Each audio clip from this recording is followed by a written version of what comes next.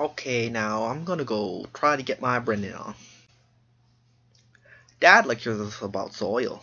Do you have any idea how boring soil is? Because it's pretty boring. Okay, but hear me out. What if we were all secretly robots and we just didn't know it? I don't see why you're taking this so seriously. It's just school. We could always resort to a life of crime if we had to. Alright, channeling my inner Calem.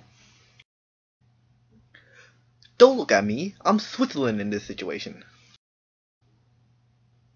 Being a ranger isn't about fame and fortune. It's about helping people.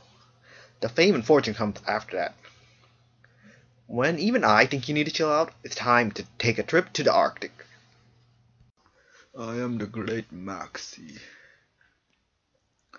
One more word out of you, and I swear I will destroy you, and not in the way you like, you insufferable fool. You are aware that you are no longer children, yes? If you wish for me to treat you like adults, act like one first. This school used to be so easy to manage, then the pond scum got hired. I am Archie. If you want to educate kids, you gotta entertain them. Something that you wouldn't understand since you're older than the planet itself.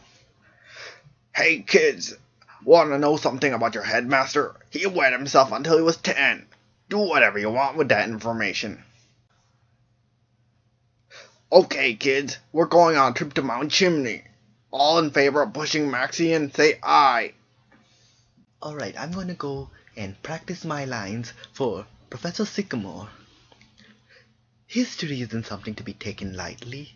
It affects everything that exists now, even the smaller things. I could make a joke here, but that seems too weak.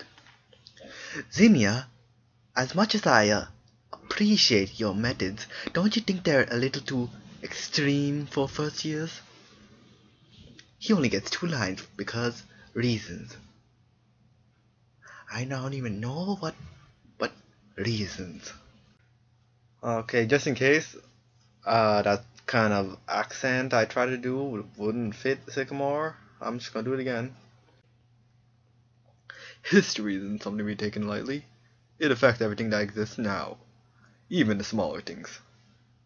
I could make a joke here, but that seems too weak. Zinnia, as much as I appreciate your methods, don't you think they're a little too extreme for first years?